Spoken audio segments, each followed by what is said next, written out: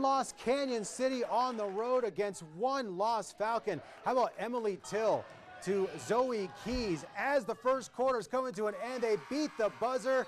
Well done for Canon City. And then later, Kylie Wood coming back for Falcon. Great move inside with the layup there, but back come the Tigers. Riley Reed, three ball, and she's going to get the friendly roll right there.